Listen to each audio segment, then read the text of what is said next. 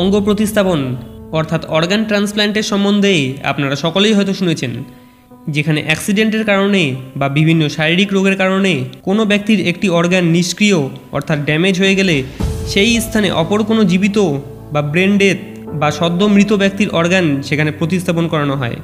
যার মধ্যে সবচেয়ে বেশি যেগুলি প্রতিস্থাপিত হয় তা হলো হৃৎপিণ্ড, লিভার, চোখ, অর্থাৎ কর্নিয়া এছাড়াও ফুসফুস, অগ্নাশয় ও ক্ষুদ্রান্তও প্রতিস্থাপন করা হয়ে থাকে।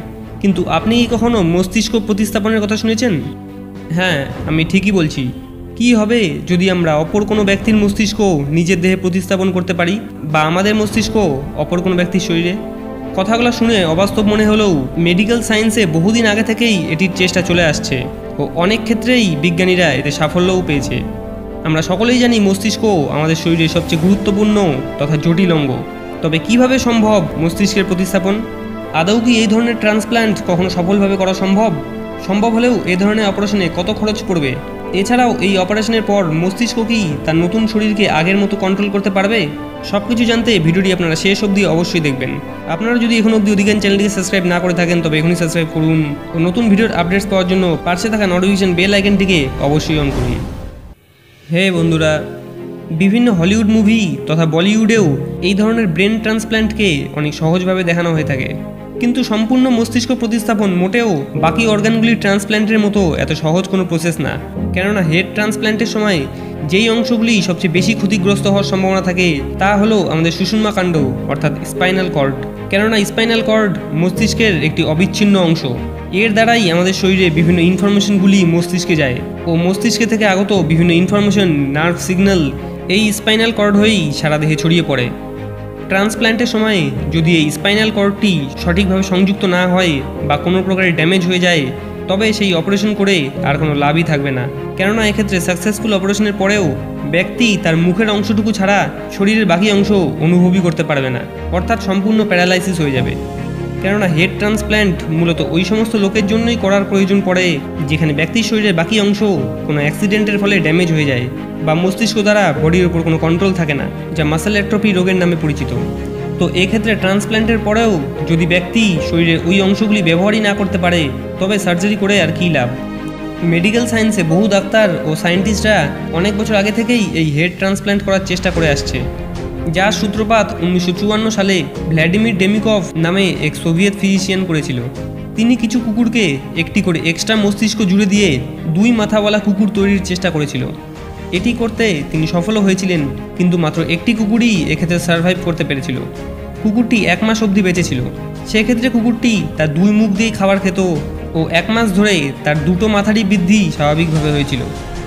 যার ষোলো বছর পর, অর্থাৎ উনিশশো সত্তর সালে আমেরিকার একজন neurosurgeon doctor Robert J White সর্বপ্রথম একটি বানরের মস্তিষ্ক ট্রান্সপ্ল্যান্ট করে, যেখানে দুটি বানরের মস্তিষ্ক একটি শরীর থেকে আরেকটি শরীরে স্থানান্তরিত করা হয়। এক্ষেত্রে বেশ কিছু ডাক্তার ও অ্যাসিস্ট্যান্ট মিলে কয়েক ঘণ্টা অপারেশনের পর এটি তারা করতে সক্ষম হয়। যার পর ইসিজি রিপোর্টে পাওয়া যায় যে নতুন মস্তিষ্কটি স্বাভাবিকভাবেই তার কাজ করছিল। কিন্তু এক্ষেত্রেও বান্দরটি মাত্র কিছুদিনই বাঁচতে পেরেছিল। যার পর উনিশশো বিরাশিতে নিউ ইয়র্কের মাউন্ট সিনোই মেডিকেলের chief endocrinologist doctor Dorothy T Krieger ইঁদুরের ওপর এই ট্রান্সপ্ল্যান্ট করার চেষ্টা করে। সেক্ষেত্রেও অপারেশনের পর ইঁদুরটি বেশি সময় বাঁচেনি।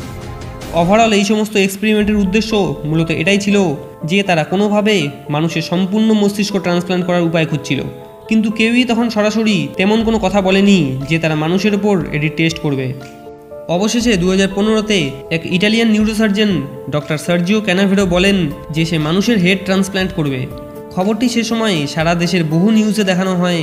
আপনারাও খুব সম্ভবত নিউজটি কোনো না কোনো নিউজ পেপারে পড়েছিলেন। এছাড়াও দু হাজার সতেরোতে বিভিন্ন সোশ্যাল মিডিয়ায় এই নিউজটি প্রচুর ভাইরাল হয়। ক্যানাভেরো বলেন যে তিনি এই এক্সপেরিমেন্টটি প্রথমে বানরের ওপর ও ইঁদুরের ওপরও করেছিলেন ও এতে সফলও হয়েছিলেন। যার পরেই তিনি মানুষের মস্তিষ্ক ট্রান্সপ্ল্যান্ট করার সিদ্ধান্ত নেয়। এর জন্য তিনি বিভিন্ন স্পেশালিস্টদের নিয়ে একটি টিমও তৈরি করেছিলেন। ভ্যালেরি স্প্রিডোনোভ নামে একত্রিশ বছরের এক রাশিয়ান বিলিয়নারি তার মস্তিষ্ক প্রতিস্থাপন করতে চেয়েছিলেন, কেননা তিনি মাসেল ওয়েস্টিং ডিজিজ তথা হফম্যান ডিজিজে ভুগছিল। এক্ষেত্রে তার মস্তিষ্ক ছাড়া সমস্ত শরীর অকেজ ছিল। অপারেশনটি একজন চাইনিজ সার্জন ডক্টর জিওপিং রেনের তত্ত্বাবধানে চায়নায় হওয়ার কথা ছিল। কিন্তু এক্ষেত্রে পরে অপারেশনটি আর করা হয়নি। কেননা ট্রান্সপ্ল্যান্টের জন্য ডাক্তারেরা তার সঙ্গে হিস্টোকম্প্যাটিবল একটি মহিলা ডোনারের বডি পেয়েছিল, যা ভ্যালেরির পছন্দ হয়নি। ভ্যালেরি বলেন যে সে মহিলা নয়, পুরুষ হয়ে বাঁচতে চায়। এভাবে তিনি হঠাৎই তার মত পাল্টে দেয় ওই ঐতিহাসিক অপারেশনটি আর হতে পারে না। এছাড়াও তিনি এই ডিসিশনটি নেয় অসফল হওয়ার ভয়ে, কেননা সবাই জানতো অপারেশন সাকসেসফুল না হলে তার মৃত্যু ঘটবে। কিন্তু কেন? যেখানে কিডনি, হার্ট, লিভারের মতো বাকি অঙ্গগুলি সফলভাবে ট্রান্সপ্ল্যান্ট করা সম্ভব, সেখানে মস্তিষ্ক কেন সফলভাবে করা যাচ্ছিল না? কী কারণে আমাদের শরীর অন্য কারও মস্তিষ্ককে গ্রহণ করতে পারছিল না?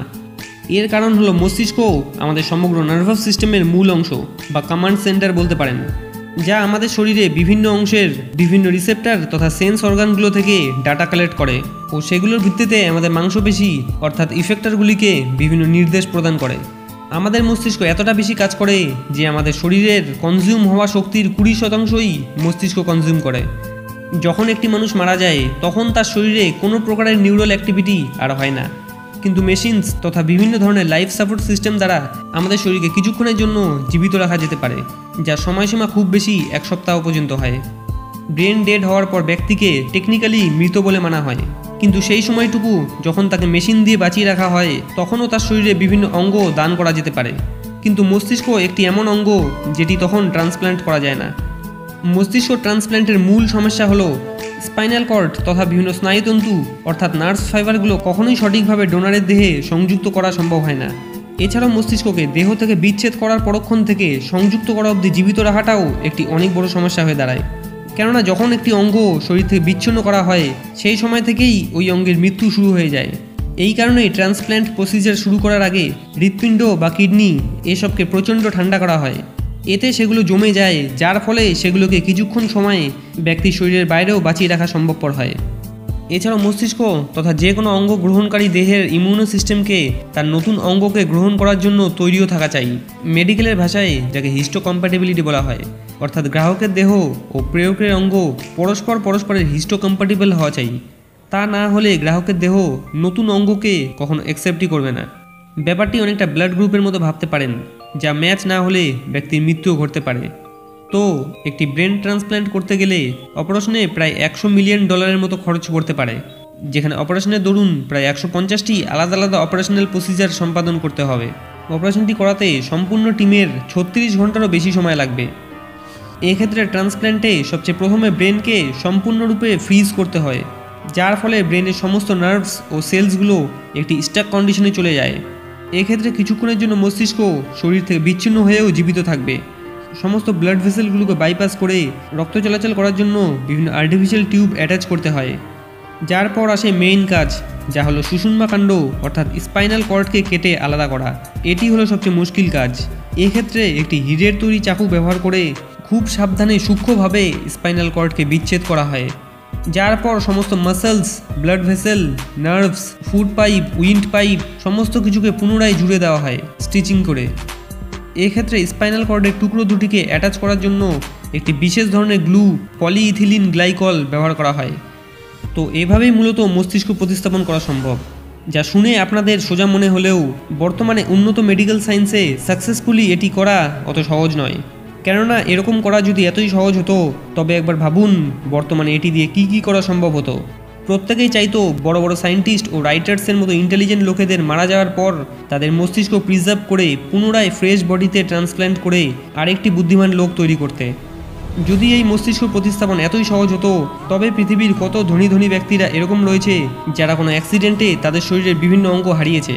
তবে তারা কি ওই সমস্ত অপারেশন করে অন্য কোনো ব্যক্তির সুস্থ শরীরে নিজের মস্তিষ্ক ট্রান্সপ্ল্যান্ট করে নিত না? কিন্তু এটাও সত্যি যে আজ থেকে পঞ্চাশ বছর আগে কেউই এটি জানতো না যে আমরা ঘরে বসে পৃথিবীর যে কোনো জায়গায় ঘটা যে কোনো তথ্য কম্পিউটারের মাধ্যমে জানতে পারব। এছাড়াও তিরিশ বছর আগে অবধি কেউই এটি ভাবতে পারেনি যে আমাদের মোবাইল ফোনগুলি এতটা স্মার্ট হয়ে যাবে যে তা দিয়ে সমস্ত রকমের কাজ করা সম্ভব হবে। ইভেন তখন মেডিকেল সায়েন্সে কেউই এটি ভাবতে পারেনি যে হার্ট কিডনির মতো বিভিন্ন অর্গান এক মানুষের দেহে থেকে অপর মানুষের দেহে ট্রান্সপ্ল্যান্ট করা যাবে। কিন্তু দেখুন, আজ সমস্ত কিছু সম্ভব হয়েছে। তো এই মস্তিষ্কও কিছু বছর পর অবশ্যই কেউ সাকসেসফুলি ট্রান্সপ্ল্যান্ট করে দেখাবে। এছাড়াও বিজ্ঞানীরা বহুদিন আগে থেকেই ল্যাবরেটরিতে কৃত্রিমভাবে তৈরি বিভিন্ন অঙ্গ সেলস টিস্যু মানবদেহে ট্রান্সপ্ল্যান্ট করার চেষ্টা চালিয়ে যাচ্ছে, যা বর্তমানে বিজ্ঞানের আরেক অবদান থ্রি প্রিন্টিং টেকনোলজি দ্বারা তা আরও সহজ হয়ে উঠেছে।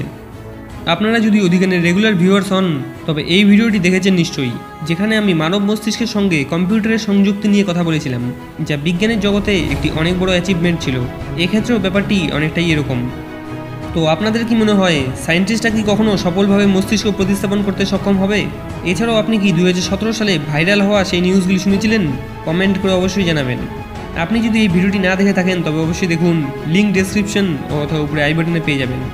ভিডিওটি ভালো লাগলে লাইক ও বন্ধুদের শেয়ার করতে ভুলবেন না। আপনি যদি অধিকান চ্যানেলটিতে প্রথমবার এসে থাকেন, তবে চ্যানেলটি সাবস্ক্রাইব করে পাশে থাকা বেল আইকনটিকে অবশ্যই অন করবেন। ভিডিওটি শেষ অবধি দেখার জন্য আপনাকে অসংখ্য ধন্যবাদ। ভালো থাকবেন। Bye bye